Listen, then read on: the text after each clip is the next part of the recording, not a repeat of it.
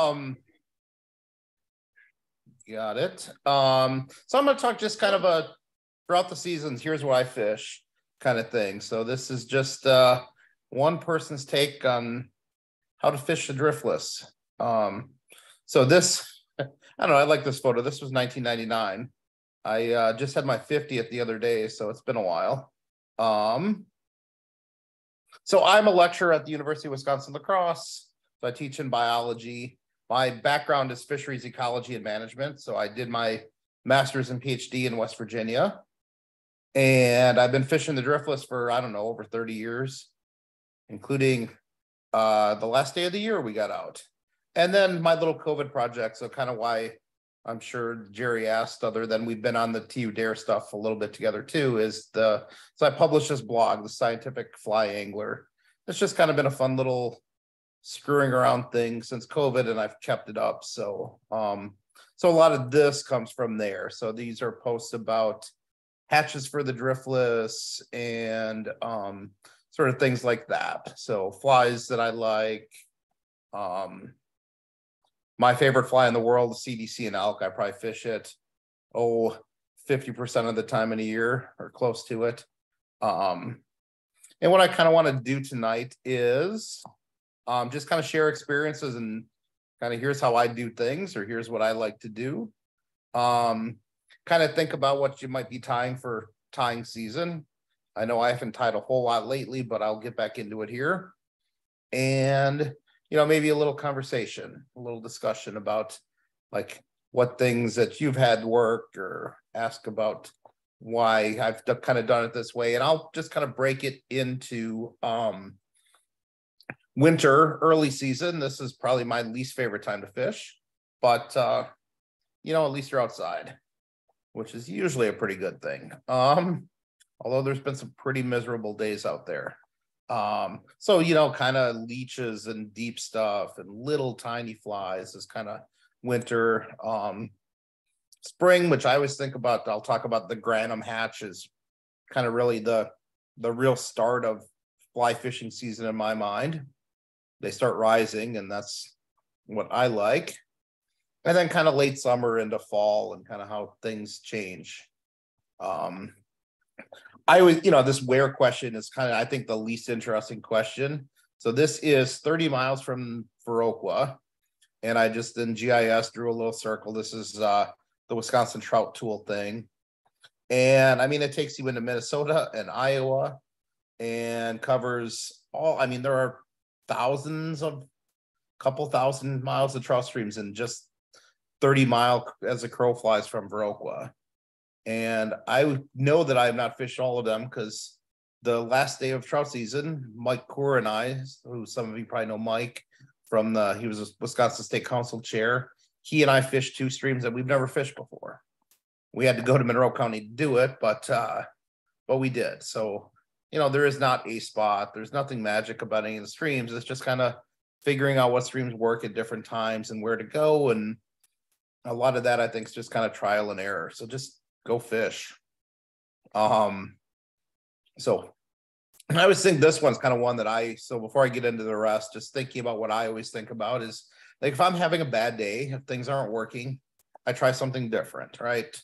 Maybe I usually, because I'm a dry fly snob, I will start with dry flies. And if that's not working, I will grudgingly put on a nymph.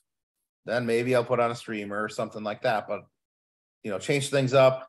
I would say change things big. Like if I'm fishing a big stream and it's not working, I go to a small stream. If I've been on a smaller stream, maybe I'm going to try something bigger and different.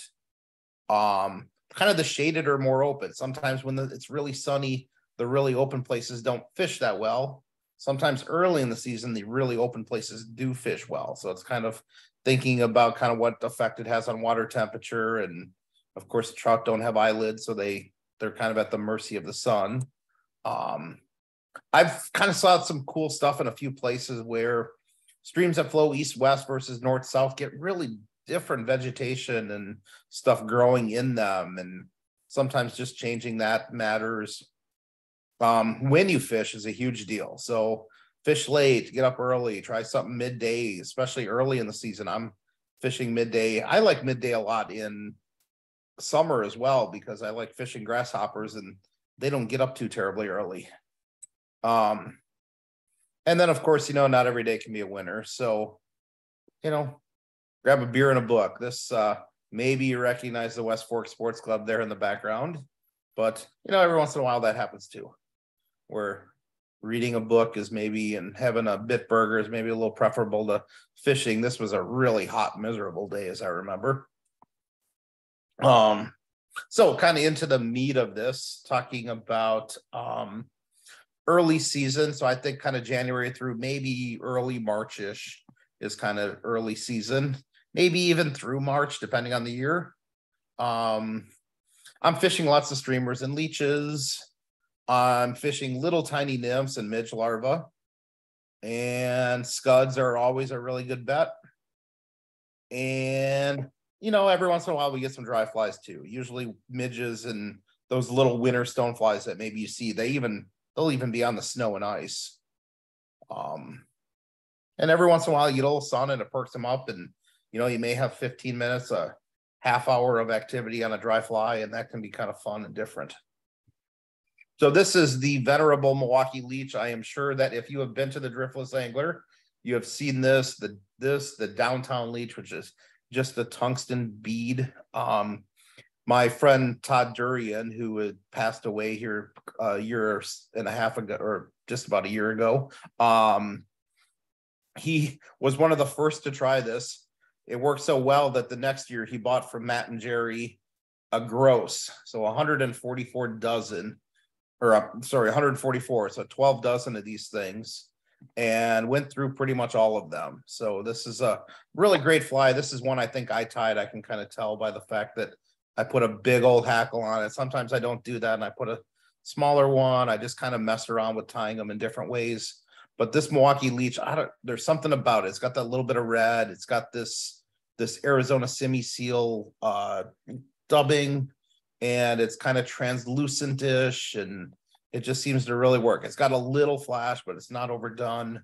Um, it's just it is probably my number one winter fly. Other things that I like, uh, I just tie some woolly buggers. I tie some big ones that I call like a spey bugger. I'm essentially using a spey hackle as the as the hackle on them. Um, so they're really big and webby and and flowy, if that's a word. Um, my friend, I don't know, maybe some of you know Ben Lubchansky, a good friend of mine. Um, he has the jiggy and itty meaty things, and it's just a little leech, and he's put a lot of thought into kind of how and why it works. And it jigs a little bit better, especially the jiggy version. Uh, jigs a little bit better and kind of gets that up and down movement like a real leech does. And then if I want to go something bigger, I'm usually fishing like a little sculpin imitation or something like that. Those are kind of the, you know, we don't have a ton of diversity of of minnows in our streams. We do have sculpin. That's kind of the the probably the most common bait fish. Um, zebra midges. So this is an image I just took off the Driftless Angler website. Um, simple, you know, black, tan, red. So blood worms. Other small nymphs work as well, but the zebra midge is just a really simple. That big cone gets it down, or the the bead gets it down. It looks like a little midge. It doesn't, you know, it doesn't take much to.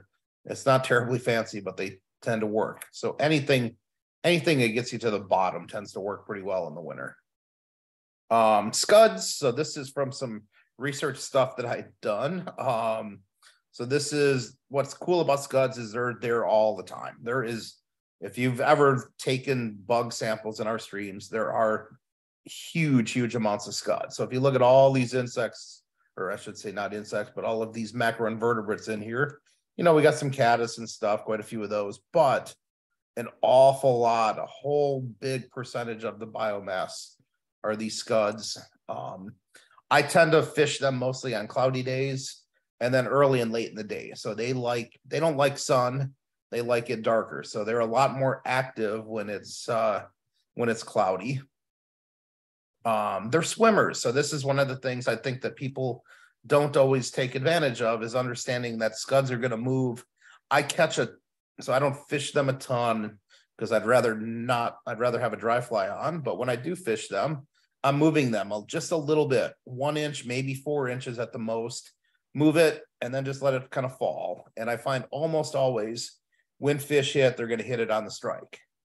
So, you know, we've all learned to dead drift our nymphs. Well, for scuds, because they are swimmers, some kind of one of the other common names for them is a side swimmer. Um, they move, so make your fly move, and that I think helps a ton. And um, and then we get a little bit of dry fly. So this is an old kind of a caddisy stonefly pattern that I've tied, little turkey biot wing. Um, we get some winter stone flies, so kind of long, thin little things. We get some midges, and you know, it's not much else going on. Although I have, I know people that will try to catch a fish every single month of the year on a hippie stomper, and they're often fairly successful. So you just gotta kind of pick your spots. And probably a lot of you recognize where this is already. Um, this was January 3rd this year. So my friend Chris wanted to go out and get out really early. It was a miserable, miserable cold day. I froze my butt off. So a lot of times in the winter, I tie flies instead, read a book. Probably should have put a drink a little whiskey on there, be another good one. Um, and enjoy not freezing my butt off. So I I'll fish in the winter, but I I'm definitely picking my spots and I am not going to go out on January 3rd again if it looks anything like it did this year. Um, then we start kind of transitioning to spring. Water temperatures are rising. The fish get a little bit more active, right? Cold blooded organisms get a little more active when the water warms up. We've gotten rid of the snow. That's always a huge thing because in the winter, when we when we have snow on the ground and it starts to melt, then the stream temperatures tend to go down, and that can be kind of a depression on the fish activity. So once we get rid of most of that snow and we're just starting to green up a little bit, so here's kind of earlier spring, here's a little bit later. Um, and uh, the bug activity starts picking up a little bit too. And here's kind of this is a this is just a downstream end of the West Fork campground. If you're familiar with that. So that's that hill that sees branches back here. Um, I start finding the first place that fish move to is those tails of the pool. So they get warmed up a little bit more quickly than anything else. Fish start using those. Those fish are really hard to get at. You got to cast from below them and not hit the riffle. So you're casting over the grass a lot of times, but at least at that time of the year, there's not much grass, or you're getting above them and casting down to them. Um, you uh so they start moving into riffles a little bit later and that's typically if they're in riffles to me that's when fish are active. So if they're in a riffle they're there to feed. And i usually do really well in those. Matter of fact i i think i do you know i fish a lot of these riffles that a lot of people just walk by. And if you throw a nymph through them especially they will often you will catch fish in places you would never never think there is a fish. And then by the middle of april usually is about what i think of it as the grannom hatch starts and that's really kind of the so 15th or so of april maybe a little earlier maybe a little later depending on the year but that tends to be the grannom caddis hatch and that's kind of to me kind of the best probably the best dry fly fishing of the year um and I think of it as kind of the real fishing season because from that point on, I am probably not putting on a nymph if I don't have to. Um, that's just kind of my preference. So this in the background is a CDC and elk. This is a Hans Weilenmann fly. Um, if I could only fish one day out of the year, I'd pick one of the first really good days of the Grannom hatch. So again, kind of keep an eye on the weather. The water temps get around 50-ish or so, high 40s or and uh, the Grannom caddis start hatching. So they're a little case caddis. Um, you can find online. Tom Lager did a really great presentation all about the Grannom.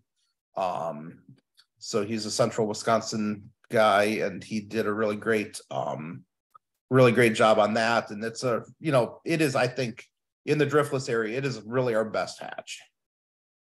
So I I try to get that one every year. That is kind of the one I shoot for. Um, and then blue wing olives are kind of the other big. It's kind of our mayfly hatches, in my experience, have been definitely on the decline. We don't have the sulfurs we used to have. You pretty much can't find a Hendrickson anymore, but the blue wing olives still do pretty well. And again, I'm looking for kind of rainy, cloudy days. Their sizes are anywhere from like a 16 is on the really big side. I'm usually fishing an 18 or a 20. And you know, as small as a 26 or even smaller if you can if you if you can do that, if you have interest in doing that, especially a little small late in the fall, really small ones, 26s and 28s. Um crane fly. So here's a post. I'm not going to link to it, but uh you can search the the scientific the scientific fly angler site and you'll find a post about crane flies um, it's kind of become i think one of our best our more dependable hatches um, it tends to be kind of a midday thing um, timing varies a lot so this year it was off a little bit um, but usually through kind of may through june is when i expect them we get kind of a yellow one and we get an orange one those kind of typically you know, size 16 tends to cover those pretty well. Um, and it's really just kind of the egg laying adults that are coming back. So again, because they're egg laying adults, they're actively they're actively flying. Same with the grannoms. And I am twitching my fly like crazy during these things a lot of times. So I'll try dead drift once in a while, but a lot of times I'm making a short little cast, having a fly that has something that it can help skitter it with. So this is kind of a clip hackle thing. And I'm just kind of twitching my rod tip. And a lot of times that movement is what's going to get a fish to hit. Because they're used they're used to seeing a move. Um, and then of course, by this kind of by May 1st or so, I'm thinking uh Andrew Grillos's hippie stomper is like it he's a he made this in Colorado or produced, you know, thought of this fly in Colorado on the Gunnison. But um it is the perfect driftless terrestrial. I mean, it's why they they use so many of them here. I know when he was in, so this was from the Bad Axe Country Club. Um, if you've never been, you need to go. It's kind of a cool little place. But he was tying flies. He sells, they sell more hippie stompers basically the driftless than they do everywhere else in the US combined, pretty much. Um, and then small nymphs. So um, I don't get too concerned about nymphs. Nymphs are nymphs. I want something that gets down deep. Um, so I like, you know, so small and slim help get it down deep fast. Uh, so this is a brush hog. This is a this one I have a ton of success with. This is off the Driftless Angler page. I usually tie mine a little bit differently than this, but I like this idea of I don't bother with the tail because crane flies don't have a tail. Um, but a little bit of purple in the body, and then a and then a little bit light to dark thing on the from the abdomen to the thorax tends to work really well.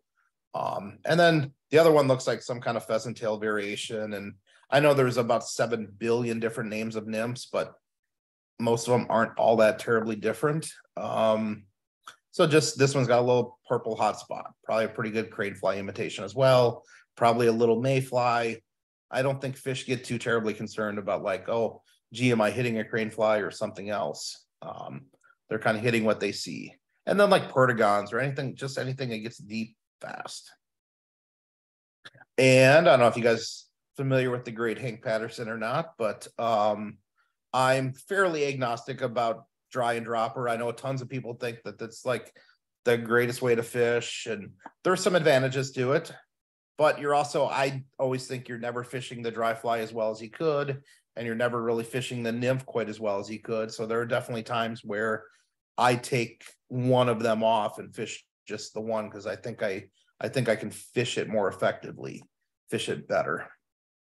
Um and I'm a dry fly snob. So the you know this bobber stuff and definitely this Euro nymph thing. I hear if you buy a Euro nymph rod, you you get one of these fish counters with it. Yeah, not really my thing, but you know, if you're into that, so be it. Um by middle so getting into summer this is honestly summer has become my favorite time to fish um, and in large part because we just have this amazing amazing terrestrial fishery this was probably the best year for grasshoppers we have had in almost since i can remember i mean it was just fantastic so this is a Morrish hopper i've got the cutters and i make all kinds of these um, this is what i for lack of a better word, I just call it my cricket. Um, but it's just a little dub body. It's going to get a little wet. It's got a wing to it. It's got a little deer hair bullet head. And then I've got a little piece of um, foam on it just so I can see it. But I think the real thing that does it is just those. I'm a big sucker for rubber legs on flies. I think they really they work really well. Um, so this Morrish hopper I'll kind of fish anywhere. This my cricket thing floats really low. It's great for water that's really still, like I mean excruciatingly still sometimes. It's not going to be a real high floater, but it's going to pick up some of the pickier fish. And I call it a cricket, but I think it's as much a beetle as it is a cricket. I mean, I'm again, I don't think fish are like, oh gee, that's a that's a cricket, not a beetle. I'm not going to hit it. It looks like food. They hit it. I mean, the hippie stomper doesn't look like anything in particular, and they hit that like crazy. And so this was a fun one. This was a photo from a day that I fished uh, a stream near La Crosse here, and this fly had caught, and it's pretty beat up by now. I think I'd caught 30, 30 to 40 fish by the time I ended. I fished 100, maybe 150 meters of stream. They were just on hoppers like like crazy. Um, one thing I did with this Morrish hopper, and I've had really good luck lately, is I put this on a big Klinkhammer hook. So it gets the hook down in the water a little bit more. And I think my hookups have been a little bit better. I think anytime you fish a hopper, you're gonna you're gonna miss fish. Fish are gonna miss your fly. You're gonna miss fish. Um, so I think that's helped a little bit.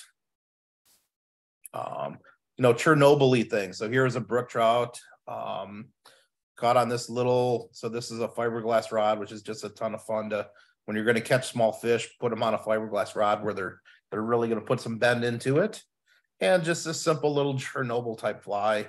Again, rubber legs. I think just do a lot, and uh, that was a really fun day catching pretty decent brook trout. Um, and then every once in a great, great while. So this is, I think, a training wheels or a Chernobyl hopper or whatever from I bought at the Driftless Angler. I know this isn't one I tied. Um, so Western monstrosities. I think um, generally around here, smaller is better. If nothing else, this thing is a really attractive bobber. But why I took this photo, I remember I was on Timber Coulee. I was, you know, at one of the most popular places on Timber Coulee. It had just a little bit of stain in the water, and I thought, oh, dry and dropper will work really well today. I caught three to one on the dry fly to the dropper. So they were just, they saw that big thing. The water was just a little bit turbid. And for whatever reason, that was what they were looking for. Maybe they didn't see the little nymph behind it so well because it was turbid. Um, but I had a heck of a day just on this ugly thing. Um, and then I always carry a few terrestrials that are a little more subtle. So just a simple little foam beetle kind of thing. Um, again, they're going to look up at it. Doesn't matter what the underbody is too much. Normally, I put a little peacock or something. This was just a real quick and dirty one. Um, and then this kind of a version of a bionic ant, which is one of my favorite little patterns. I fish this in black, I fish it in purple, and I fish it in pink. I have no idea why pink and purple work just as well as black do, but some days it actually works better. It's again, I think the rubber legs, the little bit of white on the wing, just so you see it really well. Um, it's a simple, simple killer little fly. Little white on the head, you can see it pretty well. It's I really like that a lot. Um, so I think the most common thing I see people do is we a lot of people fish hoppers that are too big. I would well, truss in general, but especially hoppers. You know, those big things that people fish out west, we don't tend to have grasshoppers like that around here. If you kind of walk through the grass and you're seeing grasshoppers, I would say like what three quarters of an inch to an inch and a quarter is kind of the size of most of the hoppers. So I tend not to go much larger than that very often. Um, I kind of like different flies for different waters. So I'm thinking about kind of match the hatch thing a little bit. And on flat water, I'm maybe not fishing that grasshopper. I may be fishing a little ant instead. I'm fishing that cricket that I that I showed you instead. Um, and then I think this is kind of one of the other things is we you know we love fishing hoppers because they're awesome and the fish explode on them. But kind of think about what's around. So if you're in a if you're in a heavily grazed pasture, there's not going to be a lot of grasshoppers.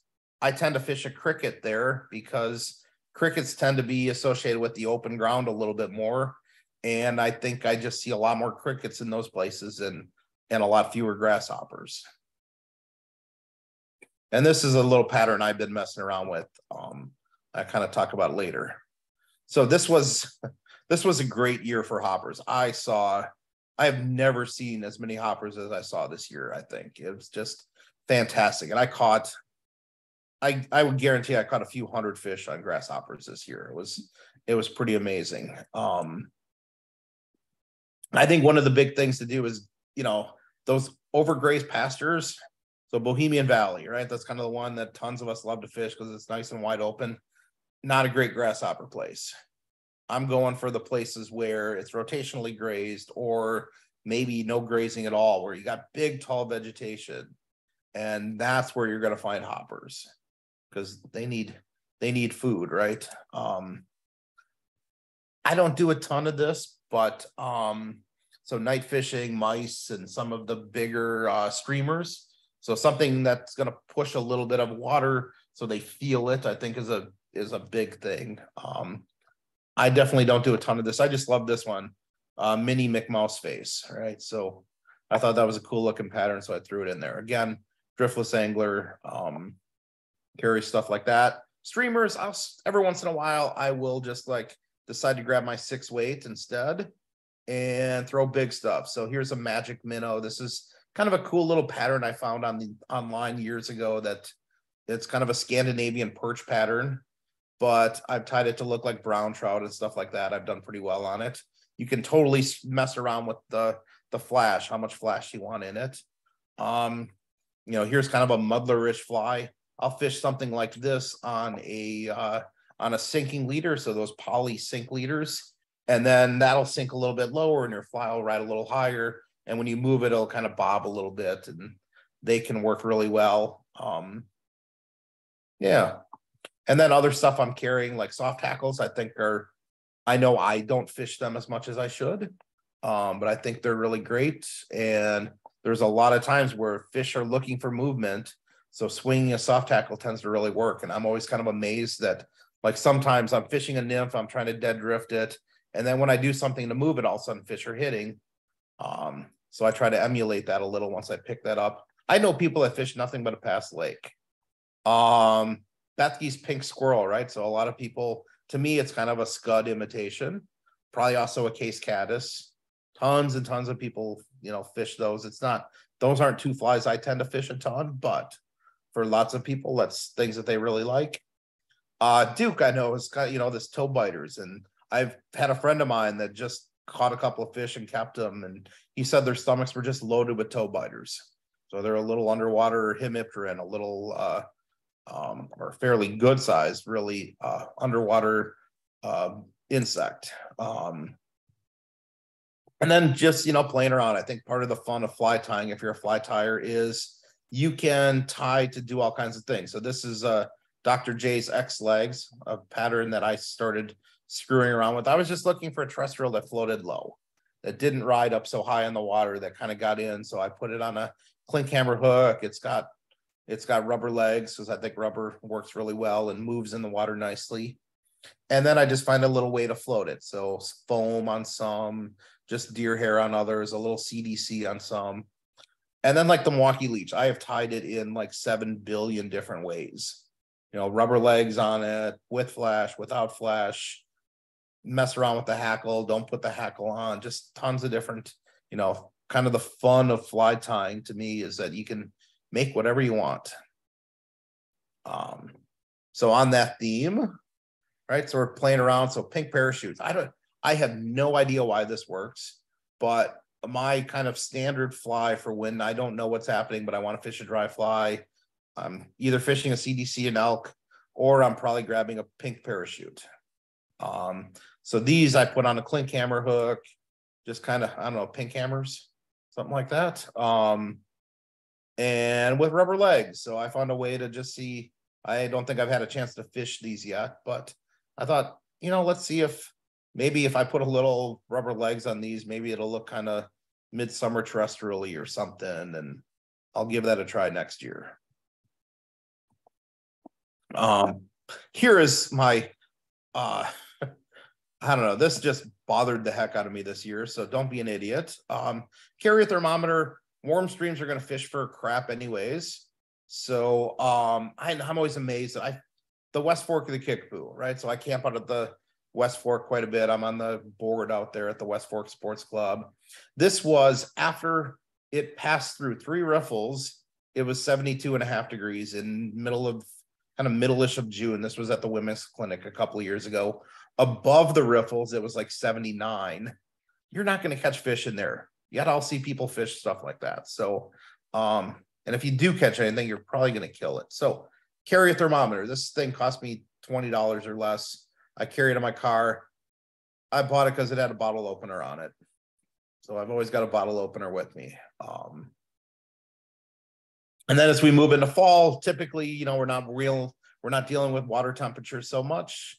We're getting cool nights and stuff. This is Mike fishing a hole on Rullands Coulee that no longer exists because the stream has moved yet again in one of the floods. Um, so I always think fall is kind of a mix of spring and summer. So we still get the terrestrials, still the little nymphs and stuff like that. I'm fishing a leech a little bit more again. And the great thing about fall is you start getting these blue wing olives again, pretty good. Every once in a great while, a little kind of caddis hatch as well. But blue wing olives, I'd say, is kind of the fall is probably my favorite and the best time to fish them. The problem is that they tend to be really small at this time. Um, and then just kind of to show what uh, this is something I donated to Coulee Region. Um, but this is kind of a fly box that I would carry like if I had one in a shirt pocket and I was going fishing for the day, I might carry something like this where I've got some bigger buggery things. I've got some leeches. I've got some little tiny nymphs. I've got a couple of soft hackles here. I've got a cricket, some hoppers. I've got some of these pink parachutes are kind of what these things are, different different parachutes. I've got like a Madam X thing. I've got my cricket. Um, I've got a bunch of CDC and elks. I've got a bunch of those little caddis flies and a beetle. And, you know, so kind of midsummer, this is maybe what I'm carrying. And I would feel pretty confident if I had those flies for a day, I could probably find a way to catch some fish. Um, and here just kind of, this was a really fun one. This was, uh, this is my friend Ben. So I don't know if you know Kyle Zempel from Black Earth Angling Company. If any of you have fished with Kyle, I he saw this photo once and he's like, I know who that hairy little guy is right away. So that's Ben's arm, and this is a fish that he had netted for me. Um, caught on one of those Morrish hoppers, way upstream on a on a really popular stream. Um, so kind of the you know thinking about stuff, you know, planning for the rest of the season. I fly by the seat of my pants. I just kind of decide what I'm going to tie when I feel like tying it. I uh just the back here behind me, I've got I don't know three dozen muskie flies hanging up. I've never cast for muskie. I've never fished for muskie. They're just fun to play around with. Um, but otherwise, you know, if I'm kind of filling the holes in the season, I'm, you know, I'm tying the stuff I fish all the time, CDC and elks and some of those hoppers again and things like that. Um, I'm not, yeah, I'm not much for planning and making a list. I wish I had that discipline, but I just kind of do it more for fun.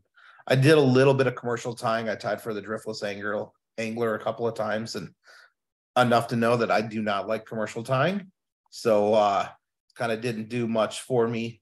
So this is, you know, kind of me playing around with stuff. Here's a bunch of jigs I tied, some, you know, bunches of other stuff. Um I got more flies than I know what to do with. So here's kind of my last little spiel is uh Coulee region. So us here in the Coulees, if you come up and fish this way and you want to donate some flies, or the Wisconsin TU banquet is back on again this year.